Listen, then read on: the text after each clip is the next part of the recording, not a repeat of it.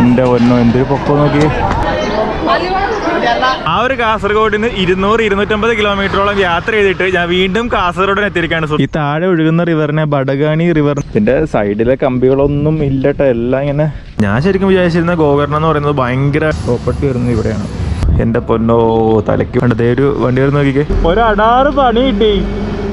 സുഹൃത്തുക്കളെ അപ്പോൾ ദേ നമ്മൾ നമ്മുടെ ഇന്ത്യ നേപ്പാൾ ഭൂട്ടാൻ യാത്രയിലാണ്. അതും നമ്മുടെ സോളോ ട്രിപ്പിലാണ് സ്കൂട്ടർ യാത്രയിലാണ്. അപ്പം ആ യാത്രയുടെ ഭാഗമായിട്ട് കർണാടകയിലുള്ള ഭട്കൽ എന്ന് പറഞ്ഞൊരു സ്ഥലത്താണ് കേട്ടോ. ഇവിടെ വന്ന് പെട്ടുപോയതാണ് കേട്ടോ. ഫുഡ് പോയിസൺ അടിച്ച് ഒരു നാല് ദിവസം കിടപ്പായിരുന്നു. നമ്മൾ ഉടുപ്പിയിൽ നിന്ന് കഴിച്ച റവാ ഫിഷിൽ നിന്നാണ് പണി കിട്ടിയതെന്നാണ് എന്റെ വിശ്വാസം. എന്തായാലും നാല് ദിവസത്തേക്ക് നല്ല പണിയായിരുന്നു. അതെല്ലാം കഴിഞ്ഞിട്ട് ദാ ഇപ്പം ഓക്കെ ആയി. ഓക്കെ ആയിട്ട് നമ്മൾ നമ്മൾ ട്രാവലിംഗ് റീസ്റ്റാർട്ട് ചെയ്യാണ്. ഇവിടുന്ന് നേരെ നമ്മൾ മുരുദേശ്വർ എന്ന് പറഞ്ഞൊരു സ്ഥലത്തേക്കാണ് കേട്ടോ പോകുന്നത്. മുരുദേശ്വറിൽ ഫേമസ് ആയിട്ടുള്ള ഒരു ശിവ സ്റ്റാച്ചു ഉണ്ട്. അവിടെ പോകണം അവിടുന്ന് നേരെ ഗോകർണയിൽ നമ്മൾ ഹോസ്റ്റലർ ബുക്ക് ചെയ്തിട്ടുണ്ട്. നേരെ ഹോസ്റ്റലറിലേക്ക് പോകും.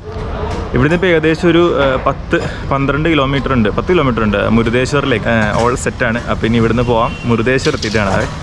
അപ്പോൾ സുഹൃത്തുക്കളെ ഞാൻ ദേ മുരുദേശ്വർ ടെമ്പിളിന്റെ അവിടെ എത്തി കേട്ടോ അവിടെ നിന്ന് ഒരു പതിനാല് കിലോമീറ്റർ ആണ് മുരുദേശ്വർ ടെമ്പിളിന്റെ അങ്ങോട്ടേക്കുള്ളത് അപ്പോൾ ഇതാണ് ആ ഒരു ടെമ്പിൾ കേട്ടോ നല്ല പൊക്കമുണ്ട്. പിന്നെ ദേ ആ പുറകിലായിട്ടാണ് നമ്മുടെ ആ ഒരു ശിവ സ്റ്റാച്ചു ഒക്കെ ഉള്ളത് പ്രതിമയൊക്കെ ഉള്ളത്. പിന്നെ ഇവിടെ ഈ സൈഡ് ബീച്ചാണ് ഞാൻ മുത്തിനോട് വെച്ചിട്ടുണ്ട്. നമ്മുടെ എല്ലാ സാധനങ്ങളും ഇവിടെ വെച്ചിട്ടാണ് കേട്ടോ പോകുന്നത്. റിസ്ക് ഉണ്ട്. വേറെ വഴിയില്ല. ഇത് ആ വഴിയാണ് അവിടെ കയറുന്നത്. അപ്പം ഇതാണ് ആ ഒരു അമ്പലത്തിന്റെ ഫ്രണ്ടിലത്തെ ഒരു ഗോപുരം കേട്ടോ. എന്റെ ഒന്നോ എന്തൊരു പൊക്കോ നോക്കി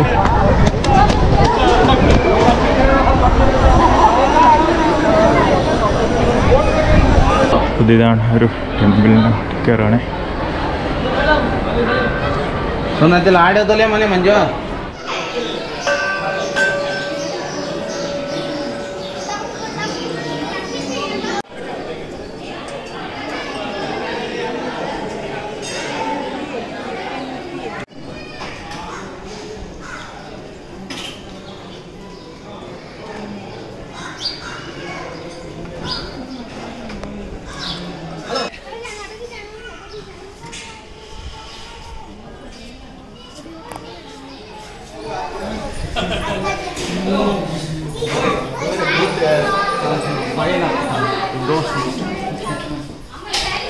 ഷൂട്ടിങ് കഴിഞ്ഞിട്ട് അവർ ഓടിച്ചിടും എല്ലാരെ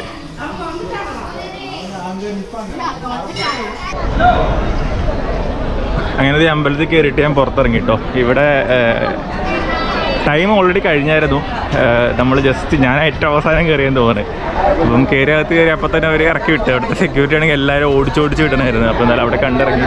ഈ പ്രതിമയുടെ അങ്ങോട്ടേക്ക് പോകാൻ വേറെ വഴിയുണ്ടോ ഞാൻ അക്കടെ വേറെ വഴി എന്ന് ചോദിച്ചപ്പോൾ ഇവർ പറഞ്ഞു അക്കടെ വേറെ വഴിയുണ്ട് എന്നാണ്. അക്കടെ എന്ന് പറഞ്ഞു കഴിഞ്ഞാൽ അവിടെ നിന്നാണ് തോന്നുന്നത് ഒക്കിടുവോ? എന്നൊക്കെ പറയാൻ വൺ ഒന്നിനും ഒരു ഒക്കിടു എന്നങ്ങാണ്ട് പറയണേ. കോമഡിയാണ് എല്ലാത്തിനോട് ഒരു കുടി ചേർത്ത് കഴിഞ്ഞാൽ കന്നഡയായി. ഇങ്ങനെ നല്ല കേട്ടോ നമ്മൾ ആ പ്രതിമയുടെ എൻട്രൻസ് കണ്ടിട്ട് അങ്ങോട്ടേക്ക് കയറാൻ പോണേ. ഇതാണ് ആ ഒരു ശിവ സ്റ്റാച്ചു വരുന്നത് കേട്ടോ ചെരുപ്പിട്ടുകൊണ്ട് മുകളിലേക്ക് പോകുന്ന എഴുതി വെച്ചിട്ടുണ്ട്. എന്നിട്ടും എല്ലാവരും ചെരുപ്പ് ഊരിട്ടിട്ട് വരുന്നത് അപ്പോൾ ഇനിയുണ്ടല്ലോ സ്റ്റെപ്പ്. ഇനിയും കയറണം. അങ്ങനെ ദേ സ്ഥലത്തെത്തിയിരിക്കുകയാണ് സുഹൃത്തുക്കളെ.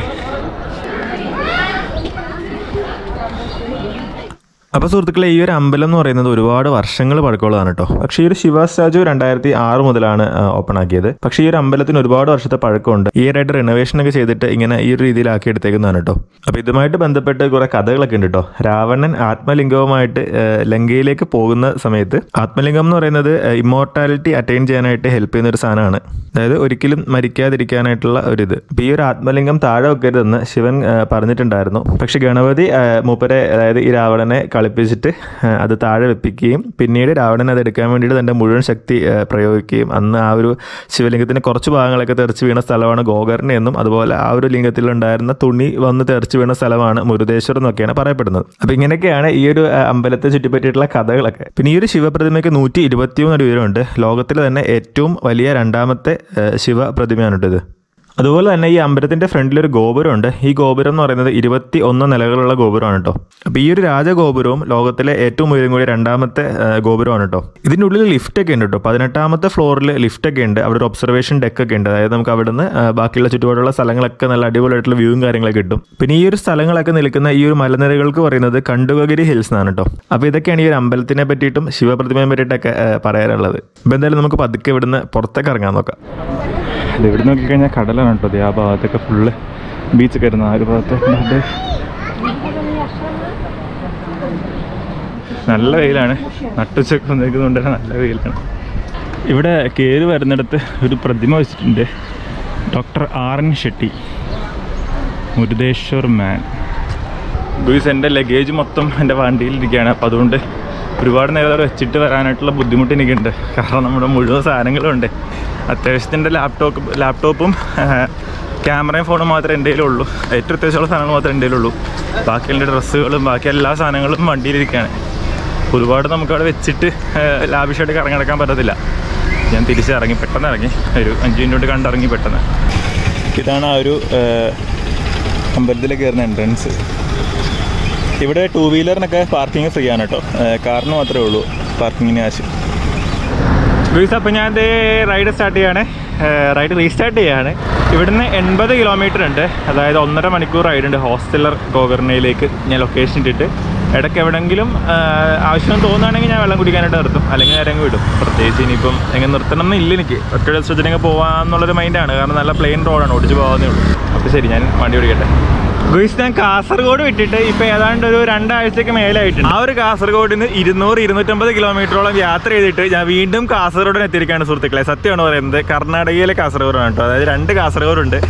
നമ്മുടെ കേരളത്തിലെ കാസർഗോഡ് കഴിഞ്ഞിട്ട് ഒരു പത്ത് ഇരുന്നൂറ് ഇരുന്നൂറ്റമ്പത് കിലോമീറ്റർ ട്രാവൽ ചെയ്ത് കഴിയുമ്പോൾ കർണാടകയിലുണ്ട് ഒരു കാസർഗോഡ്. ഇപ്പോൾ ഇവിടെ ഒരു ബീച്ചൊക്കെ ഉണ്ട്. ഇതൊരു ചെറിയൊരു ചെറിയൊരു ഗ്രാമമാണെന്ന് തോന്നുന്നു കണ്ടിട്ട്. നമുക്ക് ബീച്ചിലേക്ക് ഒന്ന് പോകാം കേട്ടോ. Kasaragod eco beach. അതാ ഈ റൂട്ടാണ് കേട്ടോ. ഈ ഒരു ആർച്ചിന്റെ ഉള്ളിലൂടെ വേണം ആ ഒരു ഭാഗത്തേക്ക് പോകാനായിട്ട്. നമുക്ക് അങ്ങോട്ടൊന്ന് പോയി നോക്കാം എന്തായാലും. അപ്പോൾ ഇതാണ് ഇവിടുത്തെ കാസർഗോഡ് ബീച്ച് കേട്ടോ അപ്പോൾ ഇത് വലിയ ബീച്ചാണ് കേട്ടോ ഞാൻ ഇത്രയും വലിപ്പം പ്രതീക്ഷിച്ചില്ല. അമ്പോ ഇത് ഇത്ര അടിപൊളി ബീച്ചാണല്ലോ കൊള്ളാം കൊള്ളാം കൊള്ളാം. ഇതാണ് ആ ഒരു കാസർഗോഡ് ബീച്ച്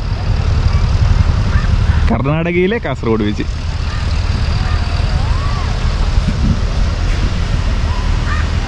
എന്നിട്ട് ഇവിടെ ഒരു ബീച്ചിന്റെ പേരും കാര്യങ്ങളൊക്കെ കൊടുത്തിട്ടുണ്ട് ലേ ഔട്ട് മാപ്പ് അവരുടെ ഒരു ടാഗ് ലൈൻ കണ്ടോ? One state many words Karnataka department of fruits നമ്മൾ വന്ന വഴി. ഇടുന്ന ഐസ്ക്രീം മഞ്ച് എന്റെ favourite flavour butter scotch Louis കണ്ടപ്പോൾ ഒരു കൗതുകത്തിന് ബീച്ചിലേക്ക് കയറിയാണ് കയറിയപ്പോൾ നല്ല ഒരു പീസ്ഫുൾ ആയിട്ടുള്ള സ്ഥലം അപ്പോൾ അങ്ങനെ കുറച്ച് ഇവിടെ ഇരുന്ന് വെള്ളമൊക്കെ കുടിച്ച് ഒരു ഐസ്ക്രീമും തന്ന്. ഇനിയിപ്പോൾ എന്നാലും ഇവിടുന്ന് പോയേക്കാം. നമുക്ക് ഇനിയിപ്പോൾ ഏകദേശം ഒരു അമ്പത് അമ്പത്തഞ്ച് കിലോമീറ്ററോളം ഇനി കവർ ചെയ്യാനുണ്ട്. അപ്പോൾ എന്തായാലും ഒരുപാട് ലേറ്റ് ആവുന്നതിന് മുമ്പായിട്ട് ഇവിടുന്ന് ഇറങ്ങിയേക്കാം. നട്ടുച്ചയാണ്. ഇവിടുന്ന് ഈ ഒരു തണൽ മാത്രമേ ഉള്ളൂ. ഇവിടുന്ന് ഞാൻ റോഡിലേക്ക് ഇറങ്ങി കഴിഞ്ഞാൽ പിന്നെ അങ്ങോട്ടേക്ക് അടുത്ത അമ്പത്തഞ്ച് കിലോമീറ്റർ നമ്മൾ പൊരി വെയിലത്ത് ഓടിക്കാൻ പോകുന്നത് അതാണ് ഈ ഹാൻഡ് സ്ലീവ് ഒക്കെ ഇട്ടിട്ട് ഇറങ്ങിയേക്കുന്നത്. ഗ്ലൗ എല്ലാം എടുത്തിട്ടിട്ട് ഇറങ്ങിയേക്കുന്നത്. എന്തായാലും പോയേക്കാം.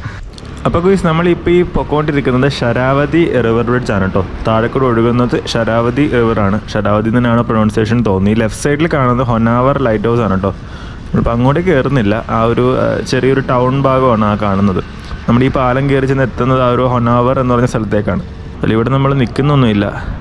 ഇതൊരു ജസ്റ്റ് ഒരു ടൗൺ ഏരിയ ആണ്. ഇത് അങ്ങോട്ടേക്കൊക്കെ മാർക്കറ്റാണെന്ന് തോന്നുന്നു. കുറേ പച്ചക്കറി കടകളൊക്കെ കാണുന്നുണ്ട്. നമ്മളിവിടെ അധികം ടൈം കളയുന്നില്ല. നമ്മൾ നേരെ മുമ്പോട്ടേക്ക് പോവാണ്. ഇവിടെ എടുത്തു പറയേണ്ട ഒരു കാര്യം ഇവിടുത്തെ ആളുകളുടെ ഡ്രൈവിംഗ് സ്കില്ലാണ് കേട്ടോ എന്റെ പൊന്നോ തലയ്ക്ക് വെളിവെട്ടത്തിൽ റോഡിലേക്ക് ഇറങ്ങി കഴിഞ്ഞ് കഴിഞ്ഞാൽ തോന്നിയ പോലെയാണ് വണ്ടി ഓടിക്കുന്നത് കേട്ടോ. ആരും അങ്ങോട്ടും ഇങ്ങോട്ടും നോക്കത്തൊന്നുമില്ല അതേ സൈക്കിളാരനൊക്കെ പോകുന്നുണ്ടല്ലേ? ചുമ്മാ അങ്ങ് അങ്ങോട്ടും ഇങ്ങോട്ടൊക്കെ വെട്ടിക്കുകയൊക്കെ ചെയ്യും. ഇൻഡിക്കേറ്റർ എടുത്തില്ല അങ്ങനെയൊന്നും ഇല്ല. റോങ് സൈഡ് റോങ് സൈഡ് ആണെങ്കിൽ മിക്കവാറും സമയം നമ്മൾ വണ്ടി ഓടിച്ചപ്പോഴത്തേക്ക് റോങ് സൈഡ് ഏതെങ്കിലും വണ്ടികൾ വരുന്നുണ്ടാവും. അപ്പോൾ അവരുടെ വരവൊക്കെ കണ്ടതും നമ്മൾ മാറിക്കൊടുക്കേണ്ട അവസ്ഥയാണ്. കാരണം നമ്മൾ റോങ് സൈഡിൽ പോകുന്ന പോലെയാണ് അവരുടെ വരവ്. കണ്ട് ദേ ഒരു വണ്ടി വരുന്ന നോക്കിക്കേ. ഇങ്ങനെയാണ് വരുന്നത് ഇപ്പം ഇതിപ്പോൾ ശീലമായതുകൊണ്ട് തന്നെ സൂക്ഷിച്ചാണ് വണ്ടി ഓടിക്കുന്നത്. കാരണം എവിടെ നിന്നൊക്കെയാണ് അവന്മാർ കയറി വരുന്നതെന്ന് പറയാൻ പറ്റത്തില്ല.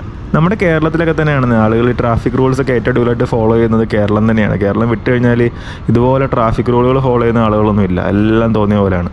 പിന്നെ ഇവരുടെ റോഡൊക്കെ അടിപൊളിയാണ് കേട്ടോ. നല്ല നല്ല റോഡാണ് നല്ല സൂപ്പർ റോഡാണ് കുറേയൊക്കെ സ്ട്രെയിറ്റ് റോഡുകളുണ്ട് നമുക്ക് ഇപ്പോൾ ഇതേപോലെ ഇങ്ങനെ വെറുതെ ഓടിച്ചു പോകാൻ പറ്റുന്ന റോഡുകളുണ്ട് ഇവിടെ രണ്ട് സൈഡിലും നല്ല മലകളൊക്കെ ഉണ്ട്. കുറേ മണ്ണൊക്കെ മാന്തിയന്റെ പാടുകളും കാണുന്നുണ്ട്. ഈ മലകളൊക്കെ ഇനിയും കുറേ നാൾ കഴിയുമ്പോൾ വരുമ്പോൾ ഉണ്ടാവുമെന്നുള്ള അറിഞ്ഞൂടാ. ഇവിടെ ഒരു ഹാങ്ങിങ് ബ്രിഡ്ജ് ഉണ്ട് കേട്ടോ. പവിനകുറുവ ഹാങ്ങിങ് ബ്രിഡ്ജ് എന്നാണ് പറയുന്നത് നമുക്ക് അവിടെ കൂടെ ഒന്ന് കയറിയിട്ട് ഇവിടെ എന്തായാലും പോകുന്ന റൂട്ട് തന്നെയല്ലേ? ഒരു ജസ്റ്റ് ഒന്ന് കയറിയിട്ട് പോകാം എന്തായാലും. ഈ ഒരു ഭാഗത്ത് എവിടെയാണ്? ഗൂഗിൾ പറയുന്ന അനുസരിച്ച് ഫോളോ ചെയ്ത് പോവാണ്. ആ ഇത് തന്നെ. പ്ലീസ് നമ്മളിവിടെ നിന്ന ലൊക്കേഷനിൽ നിന്ന് കുറച്ചിങ്ങ് വന്നപ്പോഴത്തേക്ക് ഇവിടെ ഒരു ഹാങ്ങിങ് ബ്രിഡ്ജ് ഉണ്ട്. പവിന കുറുവ ഹാങ്ങിങ് ബ്രിഡ്ജ് ആണ് ഈ പറയുന്നത് ഇത് ചെറിയൊരു ഹാങ് ബ്രിഡ്ജ് ആണ്. അതിനപ്പുറത്ത് ഒരു ഐലൻഡ് പോലത്തെ ഒരു സ്ഥലം ഉണ്ടായിരുന്നു. അല്ല ശരിക്കും അപ്പുറത്ത് വേറെ റോഡുണ്ട് എന്തായാലും അങ്ങോട്ടേക്ക് പോകാനുള്ളൊരു ഒരു ഷോർട്ട് കട്ടാണത് എന്റെ അടിഭാഗമൊക്കെ ഫുള്ള് പൊളിഞ്ഞിരിക്കുകയാണ് അവിടെ വരെ ക്ലോസ് ചെയ്ത് വെച്ചേക്കുന്നുണ്ട്. സ്കൂട്ടറും ബൈക്കൊന്നും കയറ്റാതിരിക്കാൻ വേണ്ടിയിട്ടായിരിക്കും. ഇതാണ് ആ ഒരു ഹാങ്ങിങ് ബ്രിഡ്ജ് എന്തോ ഒന്ന് ഇതിന്റെ കുറേ ഭാഗങ്ങളൊന്നും ഇല്ല കേട്ടോ ഇത് ദ്രവിച്ചൊരവസ്ഥയിൽ നിൽക്കുകയാണ്. ഇവിടുത്തെ ആൾക്കാരൊക്കെ നടന്നൊക്കെ വരുന്നുണ്ട്. പിന്നെ ഇത് മറ്റേ സാധനമാണ് കണ്ട? കുലുങ്ങനുണ്ട? ഈ താഴെ ഒഴുകുന്ന റിവറിനെ ബഡഗാണി റിവർ എന്നാണ് കേട്ടോ ഞാൻ ഗൂഗിൾ മാപ്പ് നോക്കിയപ്പോൾ പേര് കൊടുത്തേക്കുന്നത്. അങ്ങനെയാണോ പ്രൊനൗൺസ് ചെയ്യേണ്ടത് എനിക്ക് അറിഞ്ഞൂടാ. ബഡഗണി റിവർ എന്നാണ് കൊടുത്തേക്കുന്നത്. ഇത് അതിന്റെ അടുത്ത് തന്നെ കടലാണ്. ഇവിടുന്ന് കുറച്ചും ഒഴുകി കഴിഞ്ഞാൽ കടലിലേക്ക് നീരും അത്. എനിക്ക് തോന്നുന്നത് ആ നമ്മളെ ദൂരെ കാണുന്ന ഭാഗം കടലാണെന്ന് എനിക്ക് തോന്നുന്നു. ആ ഒരു മരങ്ങളുടെ അപ്പുറത്തായിട്ട് ഉള്ളൊരു ഭാഗം. ഇതാണ് ആ ഒരു ഹാങ് ബ്രിഡ്ജ്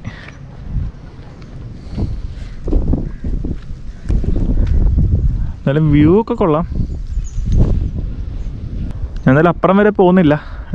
പ്രത്യേകിച്ച് കാര്യമൊന്നുമല്ല. പോയിട്ട് പിന്നെ ഈ പാലത്തിന്റെ അവസ്ഥ കാണുമ്പോൾ നമുക്ക് അപ്പുറം വരെ പോകാനുള്ളൊരു ധൈര്യവും ഉണ്ടാവില്ല. ഹാങ്ങിങ് ബ്രിഡ്ജ് ആയതുകൊണ്ട് തന്നെ നമ്മളിങ്ങനെ നടക്കുമ്പോൾ ഒക്കെ മറ്റിങ്ങനെ ഈ ഒരു സാധനമുണ്ട്. നമ്മൾ അവിടുത്തെ ഹാങ് ബ്രിഡ്ജിലുള്ള പോലെ തന്നെ.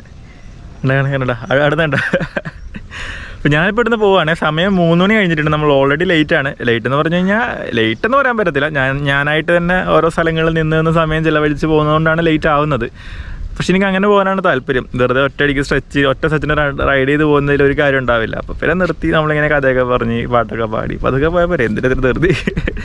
ഇപ്പോൾ എന്തായാലും ഇപ്പം ഇപ്പോഴത്തെ ഒരു പോക്കിന്റെ സ്പീഡ് വെച്ച് നോക്കുകയാണെങ്കിൽ നമ്മളൊരു നാല് മണിയാകുമ്പോൾ എന്തായാലും ഗോകറിന് എത്തേണ്ടതാണ്. നാല് മണി നാലരക്ക് മുമ്പായിട്ട് ഗോകറിന് എത്തും ഞാൻ എവിടെയെങ്കിലുമൊക്കെ ഇനി ഇടയിൽ കയറുമെന്ന് എനിക്ക് എനിക്ക് അറിഞ്ഞുകൂടാ. നമ്മൾ പോകുന്ന വഴി ഇഷ്ടപ്പെട്ട സ്ഥലങ്ങൾ കാണുമ്പോൾ നിർത്തി അങ്ങനെ അങ്ങനെ സമയം പോകുന്നതാണ്. അപ്പം നമുക്ക് നോക്കാം. നാലര ആകുമ്പോഴത്തേക്ക് ഗോവർണ ഹോസ്റ്റലറി പിടി എത്തണം. എത്തിയിട്ട് സാധനങ്ങളൊക്കെ വെച്ചിട്ട് ഒരു വൈകുന്നേരം ബീച്ചിലേക്ക് ഏതെങ്കിലും പോകാം ഓം ബീച്ചും കുറേ ബീച്ചുകളുണ്ട് അവിടെ. ഒരുപാട് ബീച്ചുകളുണ്ട് ഗോകർണയിൽ ഗോകർണ എന്തായാലും ഒന്ന് മൂന്ന് ദിവസത്തേക്ക് മൂന്ന് ദിവസം ഏറ്റവും കുറഞ്ഞ ഗോവർണയിലുണ്ട് അടിപൊളിയായിട്ട് വീഡിയോയിൽ എടുത്ത് നിങ്ങളെ കാണിക്കണം എന്നാണ് എന്റെ ആഗ്രഹം. എന്നാലും ഇവിടുന്ന് പോയേക്കാം. നല്ല വെയിലിട്ടോ. ഇതിന്റെ സൈഡിലെ കമ്പികളൊന്നും ഇല്ലട്ടോ. എല്ലാം ഇങ്ങനെ വിട്ടിരിക്കുകയാണ്. ഇതെങ്ങനെ ഇവർ എന്തുകൊണ്ട് നടക്കുന്നവോ ഇത് തന്നെ. ഇവിടെയാണെങ്കിൽ കുറേ വണ്ടികൾ മാത്രമേ ഉള്ളൂ. ഒറ്റ മനുഷ്യരെ കാണാൻ പോലും ഇല്ല. എന്തായാലും നമ്മുടെ ചെക്കൻ തേയിരിക്കുന്നേ നമുക്ക് ഇവിടുന്ന് പോവാം. ഒരടാറ് പണി കിട്ടി. ഞാൻ കോർണൊക്കെ തിരിയുന്ന വഴി തിരിഞ്ഞില്ല. ഞാൻ അവിടുന്ന് പോന്നു. ഇപ്പോൾ ഒരു പതിനഞ്ച് കിലോമീറ്റർ മുമ്പിലെത്തി. ഇപ്പം ഇവിടുന്ന് കുറച്ചിട്ട് പോയി കഴിഞ്ഞാൽ അങ്കോള അത് കഴിഞ്ഞ് കഴിഞ്ഞാൽ ഗോ ഗോവയുടെ ഭാഗങ്ങളായി. കറവാറൊക്കെ ആയി. അയ്യോ. ഗോവറിന്റെ ഒരു ഒരു ബോർഡ് പോലും കണ്ടില്ല. ഞാനിങ്ങ് പോന്നു. ശേ പതിനഞ്ച് കിലോമീറ്റർ ഇനിയും പുറകോട്ട്. പതിനഞ്ചും പതിനഞ്ചും മുപ്പത് കിലോമീറ്റർ അപ്പോൾ എക്സ്ട്രാ ഓടിക്കണം. എന്റെ പൊന്നെ. ഡാർക്ക് ആ മാപ്പ് ഇട്ടിരുന്നെങ്കിൽ ഈ കുഴപ്പമുണ്ടാവത്തില്ലായിരുന്നു ഞാനിങ്ങ് പോകുന്നതാണ്. ആ പറ്റിപ്പോയത് പിള്ളേർ ഇവിടെ ആയൊക്കെ കാണിച്ചിട്ട് പോകുന്നു ഇവിടെയൊക്കെ ഫുള്ളി പശുക്കൾ എല്ലായിടത്തും ഉണ്ടാവുമാർ ഞാനൊരു നാലേകാലൊക്കെ ആയിട്ട് മാപ്പ് നോക്കാമെന്ന് വിചാരിച്ചിരിക്കായിരുന്നു. ഞാൻ പക്ഷെ നല്ല സ്പീഡിൽ ഇങ്ങ് വന്നത്. വന്ന സ്പീഡിലായതുകൊണ്ടേ കവർ ചെയ്ത ഡിസ്റ്റൻസ് ഒന്നും നോക്കിയില്ല. അങ്ങ് പോന്നു. തിരിച്ചു വന്നു തിരിച്ചു വാ. തിരിച്ചിനി ആ ഒരു വഴി അങ്ങോട്ട് പോകാൻ പ്ലീസ് ഇവിടുന്ന് ആയിരുന്നു തിരിഞ്ഞു പോകേണ്ടിയിരുന്നത് ഞാൻ ഇവിടുന്ന് നേരെ പോയി നമ്മൾ വന്ന ആ റൂട്ടായിരുന്നു. പോയി ഒരു പതിനഞ്ച് കിലോമീറ്റർ തിരിച്ചു ഇതാണ് ഗവർണയ്ക്ക് പോകുന്ന ആ റൂട്ട്. അപ്പോൾ ഇതായിരുന്നു നമ്മൾ ഗോവർണയിലേക്ക് തിരിയേണ്ട ആ ഒരു റോഡ് കേട്ടോ. ഇവിടെ ഇവിടുന്ന് ഏകദേശം ഒരു പത്ത് കിലോമീറ്റർ താഴെയുള്ള ഗോവർണയിലേക്ക്. എന്തായാലും നമുക്ക് നേരെ വിടാം. ഈ റോഡ് നല്ല രസമാണ് കേട്ടോ. അത്യാവശ്യം ഭംഗിയൊക്കെ ഉണ്ട്. രണ്ട് സൈഡിലും നല്ല എന്താ പറയുക വെള്ളവും കാര്യങ്ങളൊക്കെ ഉണ്ട്. പിന്നെ അത്യാവശ്യം മരങ്ങളൊക്കെ ഉണ്ട്. പിന്നെ ഇതാ നമ്മുടെ സണ്ണിങ്ങനെ നിൽക്കല്ലേ ഒരു സൺസെറ്റൊക്കെ കണ്ടുകൊണ്ട് വണ്ടി ഓടിക്കാം. നല്ല റോഡാണ് കേട്ടോ. ചെറിയ റോഡാണെന്നേ ഉള്ളൂ പക്ഷെ നല്ല റോഡാണ്. പിന്നെ ഇതൊക്കെ ഓരോ ഗ്രാമങ്ങളാണ് ആളുകൾ താമസിക്കുന്ന സ്ഥലങ്ങളാണ്. ഇവിടുത്തെ റോഡൊക്കെ നൈസാണ് പിന്നെ ഈ പറഞ്ഞ പോലെ ആളുകളുടെ ഒരു വെല്ലുവില്ലായ്മയുണ്ട് വണ്ടിയും കൊണ്ടിറങ്ങുന്ന ആളുകളുടെ. അപ്പം അത് മാത്രം ഒന്ന് ശ്രദ്ധിച്ചാൽ മതി. വേറെ കുഴപ്പമൊന്നുമില്ല. ഇപ്പം ഇവിടെയൊക്കെ നോക്കിക്കേ ഇടതുവശത്തും വലതുവശത്തും നല്ല അടിപൊളി കാഴ്ചകളാണ്. എങ്ങോട്ട് നോക്കണം എന്നുള്ളത് എനിക്കാണ് കൺഫ്യൂഷനായി നമ്മൾ കടമക്കുടിയൊക്കെ ഉണ്ടല്ലോ. കടമക്കുടിക്കൊക്കെ സമാനമായിട്ടുള്ള ഒരു ഒരു സ്ഥലം പോലെ എനിക്ക് തോന്നുന്നു കണ്ടിട്ട് കാരണം അവിടെ ഇതേപോലെ രണ്ട് സൈഡിലും പാടങ്ങളും കെട്ടുകളൊക്കെ ആയിട്ട് നല്ല രസമാണ് വണ്ടി ഓടിക്കാനായിട്ട്. ഏതാണ്ട് അതുപോലത്തെ ഒരു റോഡാണ് ഇവിടെ ഈ ഗോകർണയിലേക്ക് പോകുന്ന റോഡുകളും ഇപ്പോൾ ഇവിടെ വെച്ച് ഇതേ വഴി രണ്ടായിട്ട് തിരിയുന്നുണ്ട്. ലെഫ്റ്റ് സൈഡിലേക്ക് തദ്രി റൈറ്റ് സൈഡിലേക്ക് ഗോകർണ്. അപ്പോൾ നമുക്ക് ഗോകർണിലേക്ക് തിരിയും ഇവർ ഗോകർണ് എന്നാണ് കേട്ടോ പറയുന്നത്. ഗോകർണ എന്നില്ല. അവസാനത്തൊരു എ ഇല്ല. ഇവിടുത്തെ ബോർഡുകളിലൊക്കെ ഗോകർണ് എന്നേ ഉള്ളൂ. ഞാൻ ശരിക്കും വിചാരിച്ചിരുന്ന ഗോകർണ എന്ന് പറയുന്നത് ഭയങ്കരമായിട്ടുള്ള ടൂറിസ്റ്റുകളൊക്കെ വരുന്ന ഒരു സ്ഥലമാണെന്നാണ്. പക്ഷേ ഇത് ഓൾമോസ്റ്റ് ഒരു ഹിഡൻ പ്ലേസ് പോലെ തന്നെ ഇപ്പോഴും കിടക്കുന്ന ഒരു സ്ഥലമാണ് കേട്ടോ. കാരണം ഞാൻ വിചാരിച്ച പോലത്തെ തിരക്കുകളോ ക്രൗഡുകളോ ഒന്നുമില്ല കടകളാണെങ്കിലും ഒന്നും ഭയങ്കര ഡെവലപ്മെന്റോ കാര്യങ്ങളൊന്നുമില്ല ഒരു സാധാരണ വില്ലേജ് ഏരിയകൾ ഒരു ആ ഒരു വൈബ് തന്നെയാണ്. പിന്നെ ടൂറിസ്റ്റുകൾ വരുന്നത് കൊണ്ട് മാത്രം കുറച്ച് റിസോർട്ടുകളും അങ്ങനത്തെ ഹോസ്റ്റലുകളും അങ്ങനത്തെ സംഭവങ്ങളൊക്കെ ഉണ്ട്. അപ്പോൾ അതും കൂടി ഇല്ലായിരുന്നെങ്കിൽ ഇത് ശരിക്കും പക്ക ഗ്രാമം തന്നെയാണിത്. ഞാൻ എന്തായാലും ഹോസ്റ്റലറാണ് ലൊക്കേഷൻ ഇട്ടേക്കുന്നത്. ഇവിടുന്ന് ആ, ഒരു ഗോകർണ ആ ഒരു ഭാഗം എത്തിയിട്ട് പിന്നെയും നമുക്ക് പോകാനുണ്ട് കുറച്ചുകൂടി. അതും രണ്ട് സൈഡിലും കാട് തന്നെയാണ് കേട്ടോ. ഫുള്ള് കാട് തന്നെയാണ്. പിന്നെ ഒരു പ്രോബ്ലം ഉള്ളത് പ്രോപ്പറായിട്ടുള്ള സൈൻ ബോർഡുകൾ കാര്യങ്ങളൊന്നും ഇല്ല. നമ്മൾ ഗൂഗിളിനെ എത്രത്തോളം വിശ്വസിക്കാൻ പറ്റുമെന്ന് അറിയില്ല ഞാൻ ഗൂഗിളിന്റെ പൂർണമായിട്ട് വിശ്വസിച്ചിട്ടാണ് ഓരോ റോഡുകൾ കയറുന്നത് ഇപ്പോൾ ഗൂഗിൾ ചില സമയത്ത് പ്രോപ്പറായിട്ട് റോഡ് ഇല്ല എങ്കിലും ചിലപ്പം അവരുടെ ആ ഒരു സെർവറിലുള്ള എന്തെങ്കിലുമൊക്കെ മിസ്റ്റേക്കുകൾ കാരണം റോങ് ആയിട്ടുള്ള റൂട്ടുകളൊക്കെ കാണിക്കും. നമ്മൾ കയറി ചെന്ന് എത്തുന്നത് ചിലപ്പം നമുക്ക് പോകാനുള്ള സ്ഥലത്തിന്റെ അടുത്തൊക്കെ തന്നെ ആയിരിക്കും പക്ഷേ രണ്ട് മലകളിലോ അല്ലെങ്കിൽ രണ്ട് നടുക്കൂട്ടൊരു പുഴയൊക്കെ ഒഴുകി പോകുന്നുണ്ടാവും. അങ്ങനത്തെ സിറ്റുവേഷനൊക്കെ വരും. അപ്പോൾ ചിലപ്പോൾ നമ്മൾ വല്ല പുഴയിലൊക്കെ വന്ന് നിൽക്കും. അല്ലെങ്കിൽ നമ്മൾ വല്ല റെയിൽവേ മറ്റേ ക്രോസിലൊക്കെ വന്ന് നിൽക്കും. അങ്ങനത്തെ സിറ്റുവേഷൻസൊക്കെ വരാറുണ്ട്. അപ്പോൾ ഇവിടെ എന്തായാലും അറിയില്ല. നമ്മൾ ഗൂഗിൾ പറയുന്ന പോലെ തന്നെ പോവാൻ എന്തായാലും. ആ റൂട്ട് കറക്റ്റാണ് ഗുയിസ്. ദേ നമ്മുടെ ഹോസ്റ്റലറിന്റെ ബോർഡ് കണ്ട്. ആ ഇനിയിപ്പോൾ കുഴപ്പമില്ല. ഹോസ്റ്റലറിന്റെ ബോർഡ് ഉണ്ട്. ഇനിയിപ്പോൾ ഇവിടുന്ന് അങ്ങോട്ടേക്ക് ഇരുന്നൂറ്റമ്പത് മീറ്റർ ആ ഇവിടുന്ന് നേരെ നമുക്ക് വിട്ടാൽ മതി അപ്പം. അങ്ങനെ ദേ നമ്മൾ നമ്മുടെ പ്രോപ്പർട്ടി എത്തി. നല്ല ഭംഗിയൊക്കെ ഉണ്ട് കാണാനായിട്ട്.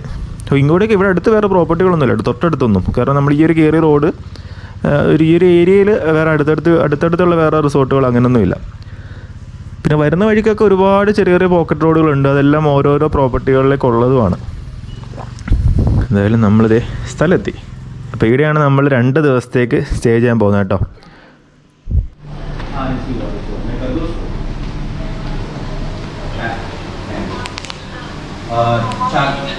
അപ്പോൾ സുഹൃത്തുക്കളെ നമ്മളത് ഇവിടെ എത്തിയിട്ടുണ്ട്. അതേ ഹോസ്റ്റലിൽ എത്തിയിട്ടുണ്ട് ഞാൻ വെബ് ചെക്കിൻ ചെയ്തു.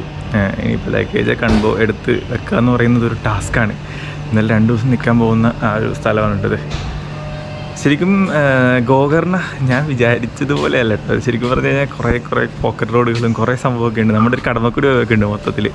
എന്തായാലും ലഗേജൊക്കെ ഒന്ന് എല്ലാവർക്കും വെക്കട്ടെ. ഞാനൊന്ന് ഫ്രഷ് ആയിട്ട് നമുക്കിവിടെ ബീച്ചിന്റെ അടുത്ത് കുറേ ബീച്ചുകളുണ്ട് ഓം ബീച്ചും കുറേ ബീച്ചുകളുണ്ട് കുട്ടിലെ ബീച്ച് എന്നൊക്കെ പറഞ്ഞിട്ട് ബീച്ചുണ്ട് അവിടെയൊക്കെ പോകണം അപ്പോൾ ഒന്ന് ഫ്രഷ് ആയിട്ട് വരാം. നമ്മുടെ ഡോർമെട്രിയുടെ ബാൽക്കണിയാണ് കേട്ടോ. ബാൽക്കണി എന്നുള്ളൊരു വ്യൂ ആണിത്. ബീച്ചൊക്കെ വരുന്നത് ആ ഒരു ഭാഗത്താണെന്നാണ് എനിക്ക് തോന്നുന്നത്. യെസ് അത്യാവശ്യം വ്യൂ ഒക്കെ ഉണ്ട്. അപ്പോൾ ഗീസ് ഇതാണ് കേട്ടോ ഞാൻ ഇന്ന് സ്റ്റേ ചെയ്യുന്ന ഡോമ്. ഇവിടെയൊക്കെ ആൾക്കാരുണ്ട് ഓൾറെഡി അവിടെയൊക്കെ ആൾക്കാരുണ്ട് നമ്മൾ പരിചയപ്പെട്ടായിരുന്നു. ഈ ഒരു ഡോമിലാണ് ഞാൻ നിൽക്കുന്നത് ഇതാണ് എന്റെ ബെഡ് അത് ഇച്ചിരി അലമ്പായിട്ടിടക്കാണ് ഞാൻ സാധനങ്ങളൊക്കെ വാരിയെല്ലാം പൊത്തി വെച്ചേക്കാണ് ഇവിടൊക്കെ. അപ്പോൾ ഇതാണ് ആ ഒരു ഡോം ഇവിടെ ഒരു സോഫയും കാര്യങ്ങളൊക്കെ ഉണ്ട്. പിന്നെ ഇതേ ഒരു മിററുണ്ട് പിന്നെ ചപ്പൽ സ്റ്റാൻഡ് വേണമെങ്കിൽ ഇത് അവിടെ ഉണ്ട്. ഓ ചപ്പൽ ചപ്പൽ സ്റ്റാൻഡ് ഉണ്ടല്ലോ ഞാൻ എന്നിട്ട് ഇതിനെ ഇട്ടേക്കുന്നോ കണ്ടില്ല. ഞാൻ ഇവിടുത്തെ കാര്യം ചാർജിങ് പോർട്ട് വരുന്നത് അവിടെയാണ്. പിന്നെ ഇതിനകത്തൊരു ലൈറ്റ് ഉണ്ട്. ഇതാ ഇത്. ഉണ്ടോ? അകത്തൊരു ലൈറ്റ് ഉണ്ട്. അങ്ങനെ ഗോയ്സ് ഞാൻ ദേ ഇവിടെ എത്തിയിട്ട് കുളിച്ച് ഫ്രഷായി ഇവിടെ ടൗണിൽ വരെ ഒന്ന് പോയായിരുന്നു. ഇവിടെ ടൗൺ എന്ന് പറഞ്ഞു കഴിഞ്ഞാൽ ഇവിടെ നിന്ന് ഒരു അഞ്ച് കിലോമീറ്റർ ആറ് കിലോമീറ്ററോളം പോകാൻ പോകുമ്പോഴാണ് ടൗൺ ഉള്ളത്. നമ്മുടെ ഈ പ്രോപ്പർട്ടി നിൽക്കുന്നത് കുറേ ഉള്ളിലാണ് ഒരുപാട് ഉള്ളിലാണ്. വരുന്ന വഴിക്ക് ഒരു സ്ട്രീറ്റ് ലൈറ്റ് പോലും ഇല്ല. എന്റെ ഈ ഗോവർണ കയറുന്ന ഈ റൂട്ടിൽ ഒന്നും സ്ട്രീറ്റ് ലൈറ്റ് ഒന്നും ഇല്ല. ഭയങ്കര പാടാണ് വണ്ടി ഓടിക്കാനായിട്ട്. മൊത്തം ചരിവും തിരിവൊക്കെയാണ് അത് മാത്രമല്ല സൈഡിലേക്ക് ഭയങ്കര താഴ്ചയാണ്.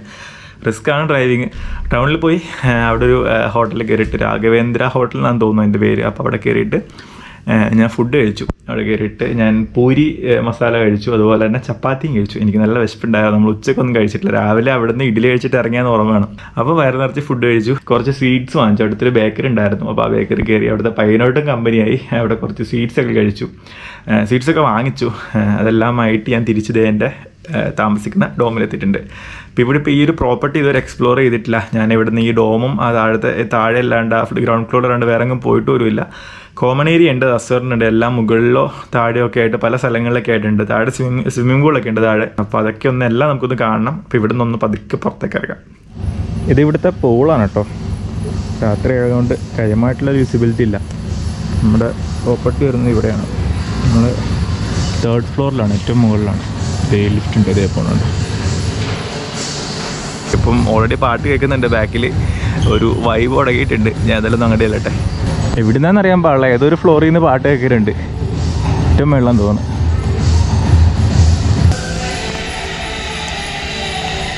തേനീച്ചക്കൊണ്ടിരിക്കണൊക്കെ. എന്റെ പൊന്നോ. ലൂയിസ് ഞാൻ എന്റെ ഹോസ്റ്റലിൽ അവിടെ നിന്ന് ചുമ്മാ നടക്കാൻ ഇറങ്ങിയതാണ് കേട്ടോ ഇരുന്നൂറ്റമ്പത് മീറ്റർ നടന്നു കഴിഞ്ഞാൽ കുട്ടിലെ ബീച്ച് എത്തുന്നത് കണ്ട്. അപ്പം ദേ ബീച്ചിലെത്തിയിട്ടുണ്ട് കടൽ കാണാൻ ഒരു സാധ്യതയില്ല. അവിടെ ഫുൾ ലിറ്റാണ് പക്ഷേ ഇവിടെ സൈഡിലൊക്കെ ആയിട്ട് കുറേ ഹോട്ടലുകളും റെസ്റ്റോറന്റുകളൊക്കെ ഉണ്ട്. റിസോർട്ടുകളൊക്കെ ഉണ്ട്. പോകാൻ വരെ ഉണ്ട് അങ്ങോട്ടൊക്കെ ഇഷ്ടംമാരുണ്ട്. കടൽ ഇപ്പുറത്തെ സൈഡിലാണ്. അത് കാണാൻ പറ്റത്തില്ല. അപ്പോൾ അതേ ഇന്നലത്തെ ഉറക്കമൊക്കെ കഴിഞ്ഞിട്ട് ഞാൻ രാവിലെ എണീച്ചിട്ട് നല്ല സുഖം ഉറക്കമായിരുന്നു. ഞാൻ നല്ല നന്നായിട്ട് ഉറങ്ങി. ഞാനൊരു പത്ത് പന്ത്രണ്ട് മണിയായപ്പോൾ കിടന്നിട്ട് ഒരു ഒരു എത്ര മണിയായി എണീച്ചത് ഒമ്പത് മണിയോ? പത്ത് മണിയും കണ്ടവരെയൊക്കെ കിടന്ന് ഉറങ്ങിയിട്ടാണ് എണീച്ചത് കേട്ടോ ഇപ്പോൾ സമയം പത്തരയൊക്കെ ആയിട്ടുണ്ട് പത്തേ മുക്കാലൊക്കെ ആയിട്ടുണ്ട്. കാലത്ത് ഫുഡൊന്നും കഴിച്ചിട്ടില്ല കഴിക്കാൻ വേണ്ടിയിട്ട് ഇറങ്ങാൻ പോകുന്നുണ്ട് അപ്പോൾ ഈ ഈ വീഡിയോ ഇപ്പോൾ തന്നെ കുറേ ലെങ്തി ആയിട്ടുണ്ടാവും. ഞാനപ്പോൾ ഇത് ഇവിടെ സ്റ്റോപ്പ് ചെയ്യാണ്. ഗോകർണയിലത്തെ കാഴ്ചകൾ ഗോകർണയിലെ ഓം ബീച്ച് ഉണ്ട് കുട്ടിലെ ബീച്ച് ഉണ്ട് പിന്നെ ഇവിടെ ഒരു അമ്പലങ്ങളുണ്ട് രണ്ട് മൂന്ന് അമ്പലങ്ങളുണ്ട്. ഈ കാഴ്ചകളൊക്കെ അടുത്ത വീഡിയോയിൽ കാണിക്കാം കേട്ടോ. അതായത് ഇന്നിനിയും പോകാൻ പോകുന്ന കാഴ്ചകളൊക്കെ അടുത്ത എപ്പിസോഡിൽ കാണിക്കാം. അപ്പം എല്ലാവട്ടും പറഞ്ഞ ഹാപ്പി ആയിട്ടിരിക്കുക സേഫ് ആയിട്ടിരിക്കുക. രാവിലെയാണ്. ഇവിടെ മൊത്തത്തിൽ ഭയങ്കര കാവാണ്. അതാണ് ഇത്രയും കാവായിട്ട് സംസാരിക്കുന്നത്. ബൈ